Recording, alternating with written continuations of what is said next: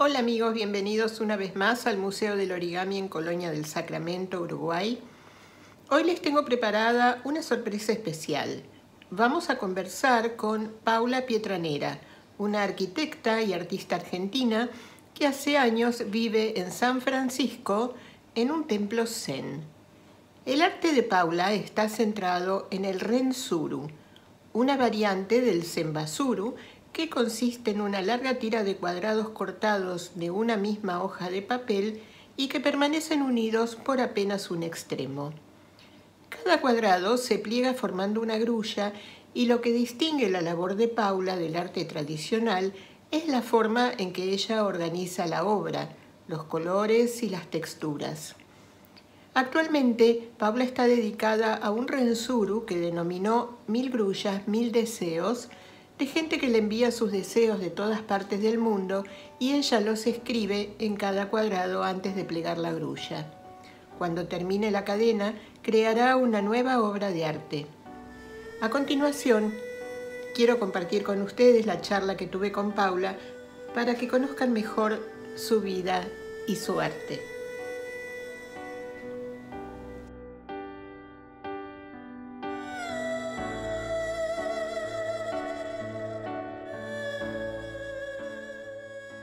Hola.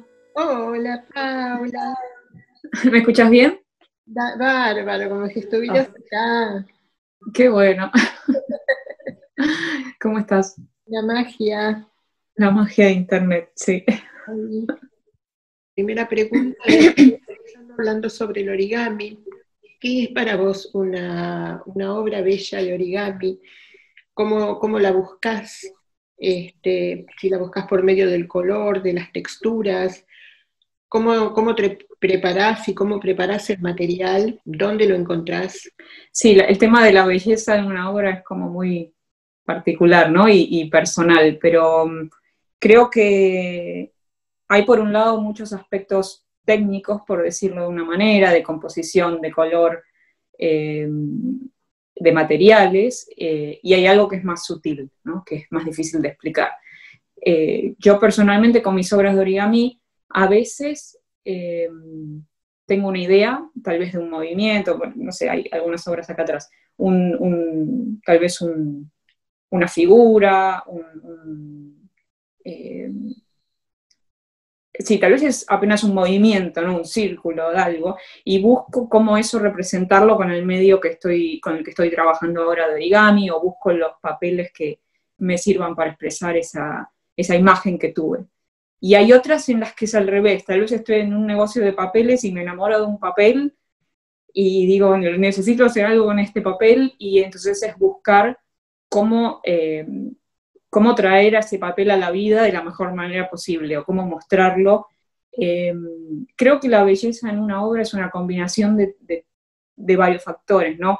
Por supuesto la composición, el color, pero después hay algo que es más sutil, que, mm, es ese, no sé de dónde vino, ¿no? Que a veces uno hace una obra y decís, esto lo tiene. Y además eh, el público, a veces la, gente que lo recibe, a veces se enamora más de una obra, se enamora más de otra, y vos no sabes ni siquiera por qué. Eh, pero mm, a mí me pasa eso, vengo, eh, encaro las obras de, a veces de dos maneras diferentes. A veces desde el material, a, ver, trabajando con origami el papel es, es, todo, ¿no? Es, es con lo que uno materializa lo que quiere expresar. Entonces, eh, a veces viene del material la, inspiración y a veces viene más de una imagen en mi cabeza. Entonces busco los materiales. Eh, ahora actualmente, por ejemplo, estoy trabajando con eh, papeles que yo preparo, que los pinto antes. Los pinto con... yo practiqué también mucho sumie, que es pintura japonesa con tinta. entonces, preparo los papeles pinto los papeles primero que después voy a doblar. Entonces busco la estética que, necesito tal vez para expresar algo. Y acá si quieres después te muestro, tengo algunos, algunos ejemplos sobre la mesa. Eh, pero ahí es, y a veces lo mismo, a veces pinto como sin demasiada guía, medio instintivamente y, veo después qué queda y, y qué me sugiere el, resultado, y a veces sí tengo una idea eh, de, no sé, de un degradé de colores, de algo, y entonces lo pinto intencionadamente para conseguir la obra que estoy buscando después, ¿no? Mostrame esos papeles. Sí. Bueno, te los levanto. Después, si querés, muevo la cámara, pero por ejemplo, esto, esto está terminado, está doblado ya, pero no sé si se ve. Que, hay como grises. claro, son grises y, diferentes tonalidades. ¿Y eso está eh, previamente pintado? O Esto está previamente pintado. O este, mira. A ver si se ve. Sí. Está todo como rayado. Sí, sí. Una vez que ya tenías cortados los cuadrados, ahí pintaste cada uno. No, no, mira, por ejemplo, este es un papel que pinté, que todavía no lo doblé, pero está pintado. Yo lo que hago, lo pinto primero y después corto los cuadrados. Ajá, o sea que no necesariamente el, diseño encaja en cada cuadrado. No necesariamente, por ahora no lo hice así, pero ves, por ejemplo, voy, voy haciendo diferentes cosas Ajá. Y a veces los uso de fondo, a veces los uso eh, para el, papel que, con el papel que voy a doblar. Em, pero es eso, a veces el, papel me sugiere que doblar y a veces busco el papel que necesito para doblar lo que estoy imaginando. Y es como que hay dos corrientes. Por lo que yo escucho, hay eh, artistas del origami, eh, son los más matemáticos, que buscan crear una obra a partir de un diseño que pueden hacerlo en una computadora o, con elementos de la geometría euclidiana, con regla y, compás. Y no, no, no, les importa supuestamente tanto sobre qué material están trabajando, el papel es el papel. En cambio, la otra corriente que creo que es la donde vos más te sentís cómoda es sentir primero el papel o lo que el papel te, transmite y a partir de ahí avanzás. Sí, sí, de hecho, em, yo empecé a practicar origami hace muchos años ya, pero nunca em, me dediqué como al, estudio exhaustivo de la geometría y de, encontrar nuevos, nuevos diseños, nuevos diagramas, que me parece fascinante, eh, pero más que nada eh, busqué cómo tal vez utilizar herramientas de origami, que no siempre son las, origamis más complejos, de una manera más artística, ¿no? O como medio, como, como si fuera, no sé, un pintor que tiene eh, como medio de expresión el óleo o la acuarela, yo siento que uso el origami. de hecho, esta técnica que, estoy usando ahora, que se llama Rensuru, que significa más o menos literalmente grullas conectadas o grullas unidas. La unidad básica es la grulla que todos conocemos, que hicimos de chiquitos, a la mayoría conoce, o sea, es una pieza muy básica de origami, pero la complejidad está en que eh, todos estos diseños se hacen con muchas grullas conectadas a partir de, y es todo a partir de un solo papel. Eh, entonces hay una complejidad geométrica que sí tengo que estudiar, eh, pero la, figura básica es una de las más simples del origami o conocidas. Eh, entonces, es como que llevo esa, esa figura a, su máxima expresión, a ver qué más me puede dar, ¿no? qué más puede expresar. Yo primero te pregunté eh, por la belleza de una obra, pero ¿ese es el objetivo de un artista o de vos como artista, crear algo bello o es algo más o es algo diferente? Eh, a ver, creo que, mm, tal vez en la teoría de un artista la motivación es expresar una intención interna o una emoción interna o algo que vemos, algo que sentimos. No necesariamente es bello, para algunos artistas de hecho hay, arte. Y a ver, lo que decía, ¿no? La belleza también es muy subjetiva. A mí, em, yo siempre tuve una influencia muy grande de la estética japonesa a través de, no solo del origami, del sumie, y, y siempre la estética japonesa me gustó, y yo la encuentro bella por todos lados. Entonces, de alguna manera, creo que inconscientemente yo busco la belleza, eh, o sea, algo que sea placentero de mirar, de alguna manera, eh, que no necesariamente es solo decorativo, ¿no? Em, pero yo siento que personalmente eh, sí busco que lo que hago sea bello, que sea placentero, que sea em, agradable de ver. Y, eso eh, vincula también con un poco tu modo de vida, ¿no? Vos fuiste hace años a vivir a una comunidad zen, que no es lo más común para una persona que se recibe de arquitecta. ¿Cómo fue ese paso, ese gran cambio en tu vida? ¿Qué, qué representó? O sea, tuviste dos eh, cambios importantes. Uno, directamente mudarte de hemisferio, mudarte de país, eh, este, establecerte en una nueva ciudad con un nuevo idioma y al mismo tiempo algo tan revolucionario para la vida de uno como cambiar diametralmente el estilo de vida de ciudad a vivir en una comunidad zen, en un templo zen. ¿Cómo fue ese cambio para vos? Y mira, eh, como muchas de estas cosas son graduales, ¿no? No es que de un día para el otro uno eh, cambia todo, pero mm, yo cuando yo vivía en Buenos Aires y mm, como vos dijiste, eh, me formé como arquitecta y trabajé muchos años, principalmente en el tema de restauración de edificios históricos. Y ahí mientras estudiaba arquitectura ya empecé con el tema del origami, después empecé con el sumie y con este interés. A ver, en, en el arte estuve siempre involucrada, siempre estudié con algún artista, con estudié dibujo, estudié pintura más tradicional, acrílico, pero me empecé a meter en el tema de las artes orientales ya cuando estaba en la carrera de arquitectura y mientras ya trabajé, siempre lo tuve ahí.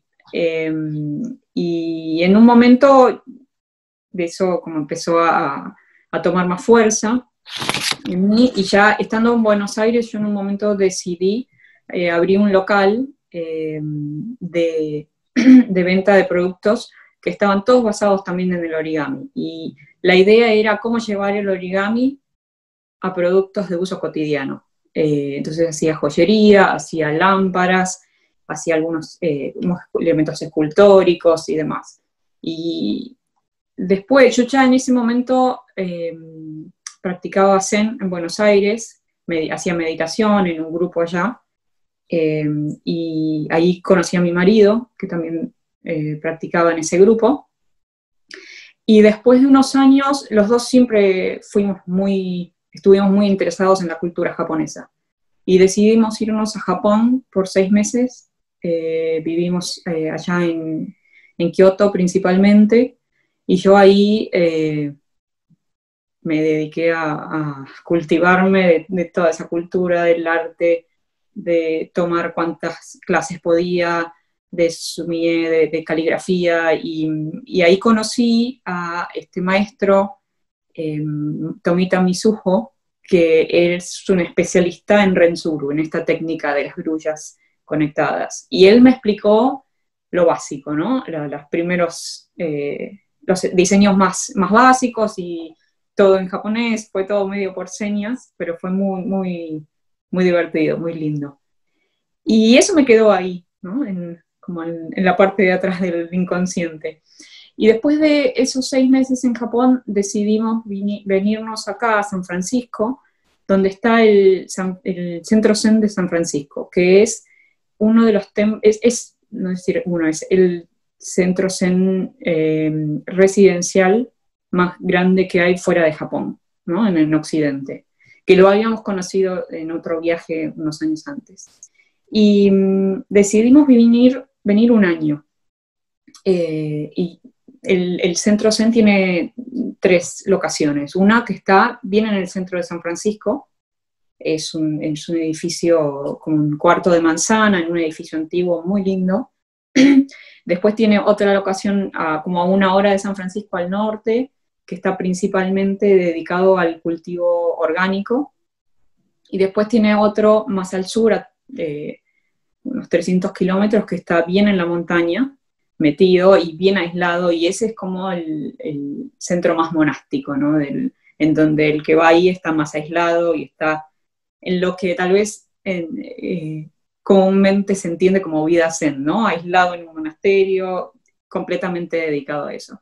Yo me quedé ese primer año en el centro de la ciudad, que mm, es donde estoy ahora, y em, es una combinación interesante entre un templo zen y la vida en la ciudad, porque en realidad vivimos en, estoy a 20 minutos caminando del centro de San Francisco, de la, plaza principal, y eh, no es una situación como de claustro, ¿no? de, de, aislación, eh, sino que hay una práctica muy intensa, se viven alrededor de 50 personas, eh, hay una práctica formal de meditación, de ceremonias, de clases y demás. Y al mismo tiempo uno vive en la ciudad, el fin de semana puede salir, ir a pasear a donde quiera. Eh, hay gente que acá en el centro que tal vez trabaja fuera, pero vive acá y, practica. Hay, como, hay gente que viene eh, como voluntaria a trabajar, hay gente que viene de afuera a las meditaciones, o sea que es algo muy permeable. Uno vive en contacto con, con, la ciudad constantemente. Em, y sí, en, después de un año yo fui al monasterio este en la, montaña, que es más de claustro, por tres meses. Estuve ahí en un periodo de práctica de tres meses. Eso sí es mucho más intenso, uno está ahí los tres meses, no sale y está completamente dedicado a, la práctica. Es, es, un lugar, Tazahara se llama, es un lugar paradisíaco, el paisaje es, es, eh, es hermoso. Eh, y también los grupos en general son entre, no sé, 50 y 80 personas. Y eh, estuve ahí esos tres meses y después volví acá eh, al centro de la ciudad. Y a ver, hay, hay como varias posiciones, varias formas de estar como residente en el templo. Yo actualmente estoy en una situación en la que puedo practicar, hacer la práctica formal eh, a la mañana, la meditación y demás, pero el resto del día lo tengo libre para dedicar completamente a mi actividad como artista. Entonces, eso me dio también un espacio para, para um, desarrollar esto que estoy haciendo y, evolucionar, ¿no? Eh, así que estoy como en un balance bastante interesante. Bien, y hubo una disrupción muy grande con todo este tema de la pandemia, digamos, en tu vida artística, o, lo viviste como el transcurso de algo nuevo? ¿Cómo fue? Y mira, em, la realidad es que en el día a día yo estoy muy metida acá trabajando, ¿no? Entonces, em, tal vez el, 90% de mi día sigue igual, porque sigo acá en mi estudio, en esta habitación y trabajo con mis papeles y demás. Pero obviamente yo tenía algunas exposiciones programadas para el año que se cancelaron, eventos y por supuesto también el contacto con gente que uno no, se puede encontrar y que hay cosas, encuentros tal vez más nutritivos que uno tiene con otros artistas o con otra gente que no se están dando. Em, sí, tal vez al principio, obviamente estos cambios son más un choque, ¿no? Entonces eh, tuve esa sensación de, pero que, como de eh, dificultad para encontrar un sentido a lo que estaba haciendo, ¿no? Y sigo trabajando acá, pero ¿qué hago? Y no, no, no puedo salir, no puedo mostrarlo, no puedo... Em, entonces, sí, tal vez em, me volqué, a ver, la herramienta que uno tiene tal vez ahora que está, uno está encerrado para mostrar lo que hace o para comunicarse son tal vez las redes sociales y, la tecnología, entonces empecé a, prestarle más atención a eso, a interactuar más con, gente, a mostrar mis horas eh, por, las redes sociales. Este, por eso, tal vez en, lo diario eh, mi vida no cambió mucho, pero como a todo el mundo sí, las interacciones pasaron a ser diferentes. Eh, ahí tengo una interacción mucho más eh, digital. ¿Y en qué estás trabajando ahora? ¿Cuál es tu, proyecto actual?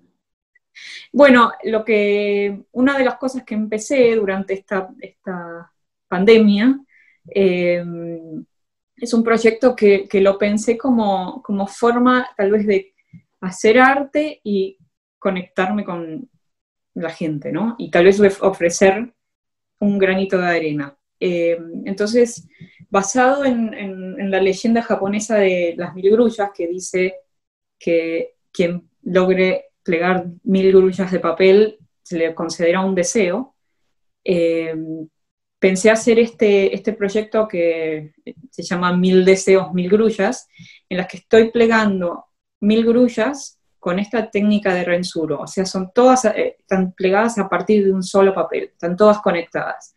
Entonces le pido a la gente, a través de redes sociales, a amigos, a familia, que me manden un deseo. Y yo los voy anotando en, en una planilla que tengo, y cada deseo lo escribo en uno de los cuadraditos de las mil grullas y la pliego. O estoy juntando mil deseos de mil personas para doblar en mil grullas que están todas conectadas. Y la idea es cuando termine voy a armar una, una obra de arte, de estas como un cuadro como los que hago, que va a contener esos mil deseos, y, no sé, me pareció como una idea muy, eh, tal vez linda para este momento, ¿no? Y lo empecé sin saber muy bien si la gente se iba a enganchar, si iba a, juntar los, mil deseos o qué iba a pasar. Y, la verdad es que, que tuve una respuesta hermosa de la gente. Eh, me doy cuenta, gente que no conozco para nada, que me manda deseos como muy, muy muy profundos, ¿no? Con mucha intención, o, que me dicen lo importante que es, tal vez, aunque sea un detalle, ¿no? Una cosita, tener un espacio donde volcar todas estas cosas que nos están pasando en este momento, ¿no? Eh, o deseos o intenciones. Creo que tal vez es un momento en el que todo el mundo está, em, no sé, reviendo cosas o, o, revalorizando muchas cosas, ¿no? Y, la gente se va a poder, va a poder leer a su vez, eh, o son deseos ocultos que quedan ocultos dentro. A ver, mira, eh, mira, ¿querés que te muestre un poco? Lo tengo acá en la mesa. Yo lo he visto, pero contales a, a la gente, sí. ¿Ves? Acá están todas las grullas. Hasta ahora doblé 350 grullas. Va. Y acá está el final de la línea. Es una, es una tira continua, ¿no? Claro. Y acá está el final, en donde tengo escritos los próximos deseos. Ay, mira, justo el último, este está en húngaro, porque me llegan en todos los idiomas, ¿no? Y acá está la fila que sigue. Sí. Entonces yo escribo cada deseo y lo, lo doblo. Después quedan así, no es que se leen completos. Ajá, o sea que es un mensaje entre vos y la persona que te lo envió. Claro, mira.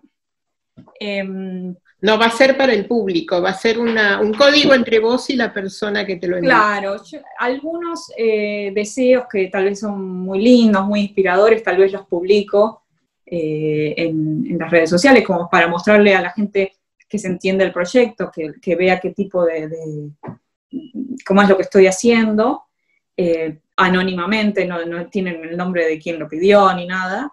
y a veces también en, en mi página de Instagram me pongo a doblar en vivo. Entonces tengo una pantalla con el deseo escrito y lo escribo en el papel, lo doblo, después paso al siguiente deseo. Entonces si vos entrás, ves qué deseo estoy doblando y qué número de deseo. Eh, entonces tal vez la gente entra un poquito, a ver por qué número voy o qué, deseo es, no sé, y, pispean un poco y, este, cada vez que estoy doblando. O sea que hay con, el, deseo 1001. No sé, es una buena pregunta, todavía no sé. Voy a tener que decirle no hay más lugar, no sé. o empezar otra. cadena. Sí, em, hasta el momento tengo cerca de 500 deseos y, y, doblados unos, como te decía, 350 pero es muy lindo porque yo cada día me levanto y tengo ahí en el Facebook, en el Instagram o en el mail cantidad de unas decenas de deseos y es muy fuerte porque leo todos los deseos y todas esas intenciones que mayoritariamente tienen que ver con lo que está pasando ahora, eh, deseos de... Casi todos son deseos eh, altruistas, ¿no? Para, todos, y, que todos nos salvemos, y que y son, es muy fuerte, ¿no? Escuchar esas, todas esas intenciones de gente que está más o menos, con más o menos dificultades, o, ese, o gente que me agradece mucho, que, es muy especial, y mucha gente que ha, hecho este trabajo de doblar las mil grullas. Eh, pero bueno, a mí me, gustó esta idea de que además todos los deseos y todas las grullas estén conectadas en un solo papel, ¿no? Como con la idea de que todos nuestros deseos también es muy original. la misma intención. Claro, porque eh, uno escucha siempre las mil grullas como proyecto de las guirnaldas, pero esto tiene una, una intención que va más allá. Sí, sí, sí. Este... Y tenés, esto fue como, como un corte en lo que vos venías haciendo, tenés, digamos, ya pensado cuando termine con este proyecto voy a retomar lo anterior o tenés, o eso cambió y estás pensando en algo en futuro. En realidad estoy haciéndolo en paralelo con el trabajo que venía haciendo. Eh, dedico una parte del día a este proyecto de los deseos y otra parte a mis obras más eh, artísticas, que como te decía, eh, ahora estaba trabajando con este tema de pintar los papeles y la tinta y, de buscar. Eh, yo siempre tuve este tema de, em, yo estudié sumie, la, la, pintura japonesa, de manera tradicional, que es el bambú y esas imágenes que, tal vez uno tiene en la, cabeza, ¿no? Bambú y el crisantemo y... Y, no, entonces, ¿cómo siempre tenía esta, esta pregunta de cómo juntar estas dos expresiones, ¿no? Del origami y, de la tinta, que tal vez, si bien vienen de una misma estética y cultura, no se juntaban muy bien.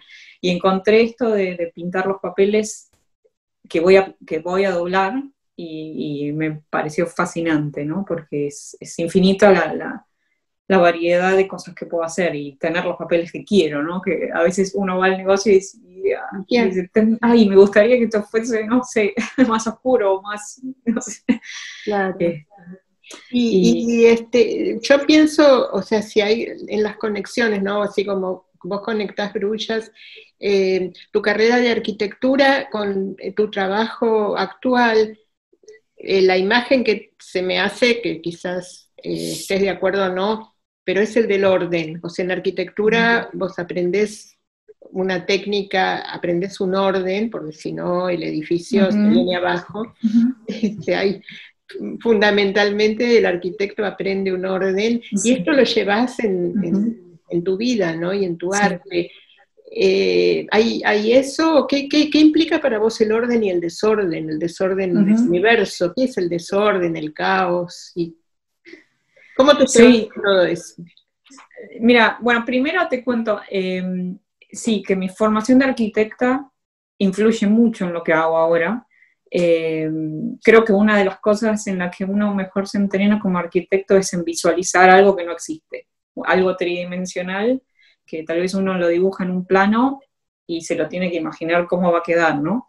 Y tal vez en esto del origami pasa mucho eso también. Eh, uno tiene un papel plano, se imagina los pliegues, o con esto del Rensuru también es cómo voy a hacer los cortes para generar tal cosa y, y, cómo construirlo en la cabeza en tres dimensiones.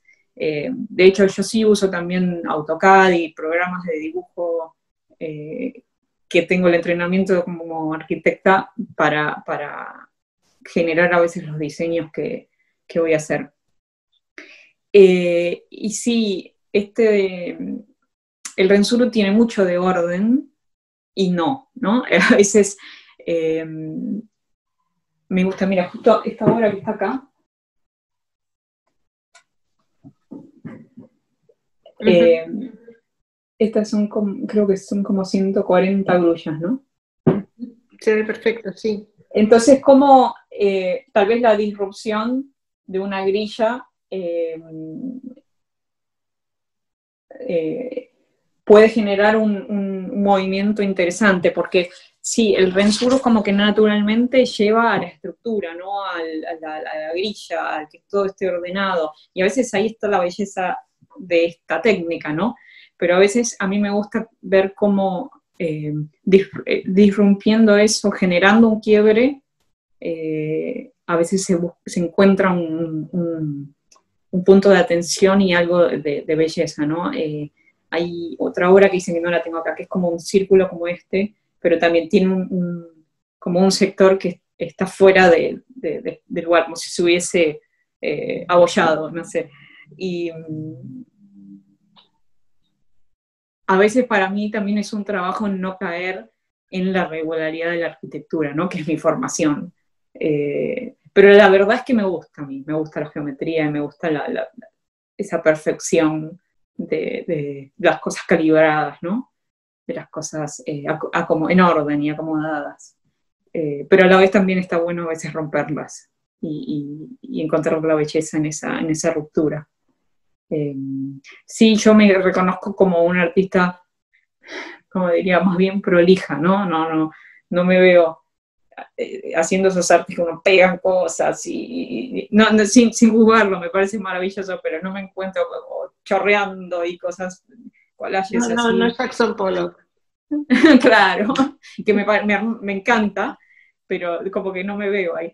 Em, y el origami tiene eso, ¿no? De la perfección y de la precisión y, eh, incluso cuando uno busca una, figura tal vez más, más, suelta o más, eh, más desarreglada, el pliegue es el pliegue y es geométrico y es, preciso, ¿no?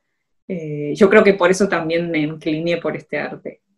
Eh, sí, por ejemplo, eh, esta otra técnica del sumier de pintura que, que, yo practiqué y ahora estoy volcando en los papeles, es tal vez lo contrario, porque es completamente espontánea, es una pincelada que no se puede corregir, no es como el óleo que uno corrige, es completamente eh, suelta, espontánea, intuitiva. Eh, entonces eso tal vez me ayuda a, aflojarme un poco, ¿no? A expresar un poco más libremente ese lado. Bueno, es lo que estaba pensando en esa, en la parte de, pintar el papel. Sí, sí, sí, sí. sí. Este, Así que como que juego con las dos cosas. Mira, estoy viendo que em, el Zoom nos da eh, menos de una hora, así que ya nos vamos a dar, eh, creo que podemos cerrar la entrevista. Bueno. Eh, yo agradecerte muchísimo por tu tiempo y por contarnos un poco de tu vida y de tu arte. Gracias a vos. Y, bueno, eh, vamos a trabajar esto para que lo puedan ver también eh, la gente que no habla el castellano, así que al menos en inglés vamos a tratar. Y, bueno, nos seguimos encontrando por, todos los canales. bueno, muchas gracias a vos por eh, invitarme y por darme esta oportunidad de mostrar un poquito lo que hago. Gracias a vos, Paula, y hasta muy pronto entonces. Gracias, Laura. Un abrazo. ¿eh?